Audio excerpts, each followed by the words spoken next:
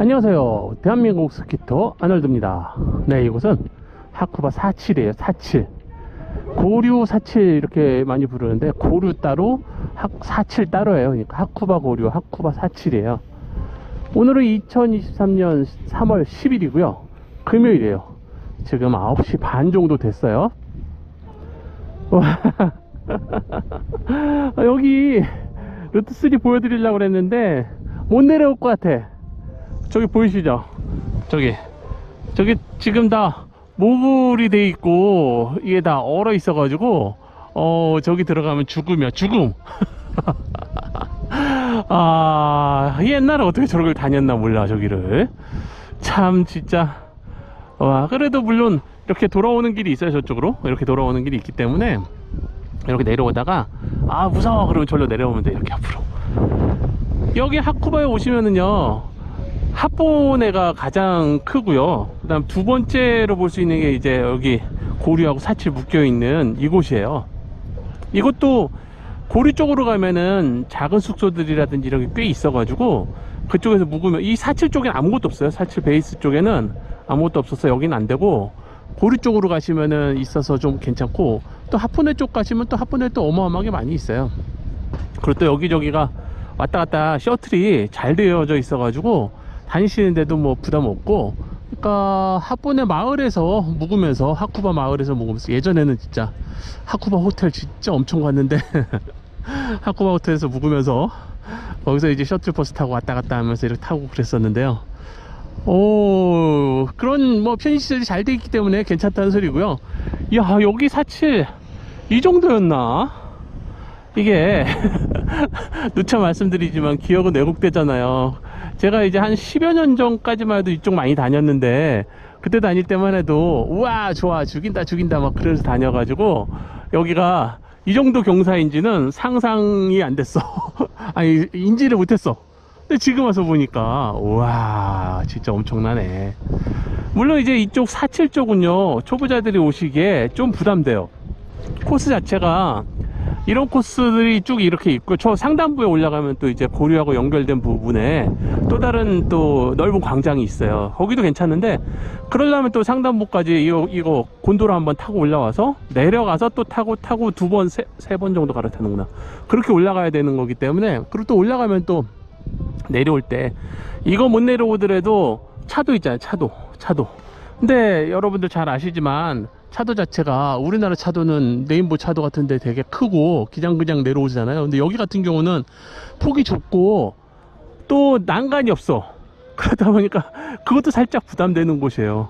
그래서 고류 쪽으로 초보자들이 오신다면 고류 쪽으로 들어가셔 가지고 고류 베이스 쪽은 또 광장이 넓고 괜찮으니까 그쪽에서 즐기시면서 또 상급자는 이쪽 넘어오시고 그러시면 될 것 같아요 이쪽 47 쪽은 제가 타는 영상 나중에 붙여드리고요.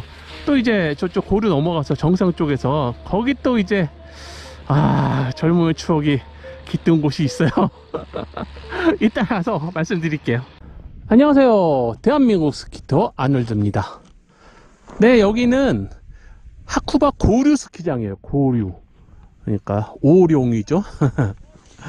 어 그곳에 있는 모글 코스야 모글 코스 와, 저 아래서 곤돌라 타고 올라오면은 저 아래 내려져요. 요, 요거 넘어서. 그러면 절로 내려가서 저기 올라오는 리프트 있어, 저거. 저걸 타고 쭉 해가지고 쭉쭉쭉쭉 해서 쭉쭉쭉쭉 저 위에까지 올라가. 그래서 다시 저쪽에서 내려오는 거야, 이렇게. 내려와가지고 여기 이걸 타는 거예요, 이게. 와.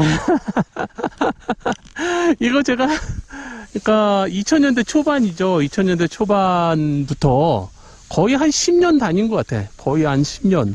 10년 정도 여기 매번 와가지고 이 코스 진짜 느낌상으로는 100만 번도 더 탄 것 같아. 오, 지금 엄, 엄청 깊네. 오, 엄청 깊어, 엄청 깊어. 야 근데 그 전에 탈 때는 이, 이 경사도 이런 것들을 그러니까 그때는 거의 인지를 안 하고 탔다는 개념이죠. 지금 와서 보니까 경사도가 어마어마하게 세질 않아요.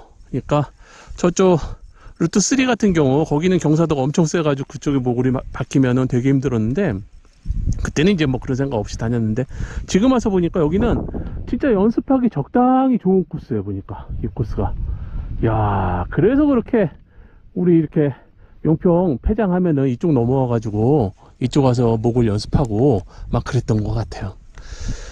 와 야 참. 이렇게 추억이 새록새록 하니까 기분이 묘한데요 아주? 이제 뭐 목을 끄는 지가 꽤 돼가지고.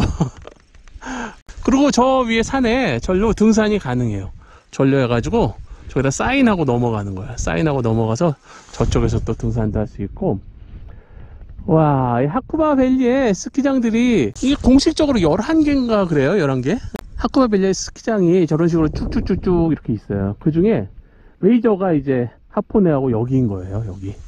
근데 여기는 여기 상단부에 상단부에 이렇게 별도로 이런 식으로 이런 코스들이 있어가지고 상급자들이 와서 재미를 볼 수가 있고 또 저 아래 하단부에는 별도로 또 이제 하단부에 초보자들이라든지 처음 배우는 분들 있잖아요 그런 분들 아니면 중급자들 연습하는 코스가 꽤나 많이 있어요 꽤나 좋아요 좋아 그렇기 때문에 어 여기 진짜 누구나 와서 즐길 수 있는 그런 곳이고요. 특히나 여기는 골든 위커까지 해요. 5월 초까지 해요. 상단부는 상단부 요 부분 특히 여기 이런 데 막 눈 빵꾸 나 있고 그런데 눈 이게 적설량이 그 홈페이지 보니까 올해 지금 2m 80이래요. 2m 80이 여기 쌓여 있는 거야.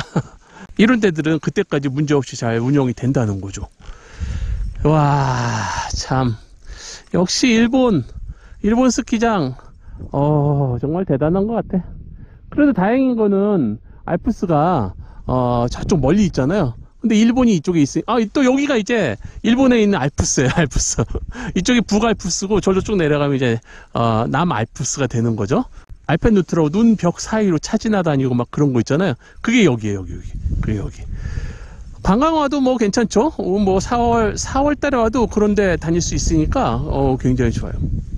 하쿠바 쪽은 그전에는 고마짜고 도야마 쪽에 직항이 다녀가지고 그쪽으로 패키지를 많이 돌렸는데 지금은 뭐 도쿄도로 들려서 오느라고 오기가 좀 동선이 불편해가지고 한국인들이 많이 안 찾고 또 특히나 북해도 쪽에 프로모션이 너무 좋아가지고 그쪽으로 많이 가는 편이어가지고 약간 또 한동안은 또 이제 이쪽에 원전 터졌다고 그래가지고 혼슈 지역은 거의 안 왔었죠? 그 덕분에 여기는 외국인이 아, 특히나 한국인이 거의 없는 스키장 중에 하나가 돼버렸어 그래도 이제 코로나도 끝났고 해서 또 아마 이쪽에 어, 직항이 열리겠죠? 직항이 열리면 이쪽으로 패키지가 많이 열릴 테니까 그럼 오셔가지고 재미있게 즐기시면 좋을 것 같아요. 자 오늘 여기까지 마무리 하고요. 이제 일본 투어 이번 시즌에 네 번 했죠? 네 번? 네 번 했어요. 와 대단하네. 이제 한국 들어가지고 다음 주 폐장이라고 하니까 용평 그때 되니까 한 번 봐가지고 한 번 더 가고요. 그렇게 해서 시즌을 마무리 하겠습니다. 여태까지 일본 투어 시청해주신 구독자 여러분 감사합니다.